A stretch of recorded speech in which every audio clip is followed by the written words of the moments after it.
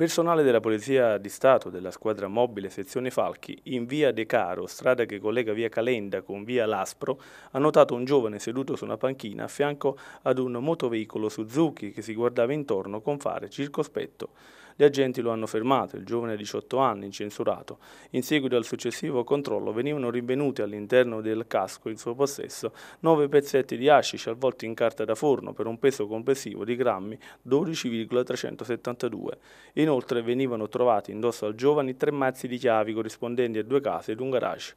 Venivano effettuate quindi delle perquisizioni nei luoghi indicati con un sequestro di altra sostanza stupefacente di tipo hashish per un peso complessivo di grammi 47, due bilancini elettronici, materiale per il confezionamento delle dosi da spacciare, la somma di circa 5.000 euro, tre fogli monoscritti riportanti e le somme del denaro provento delle cessioni di sostanza stupefacente.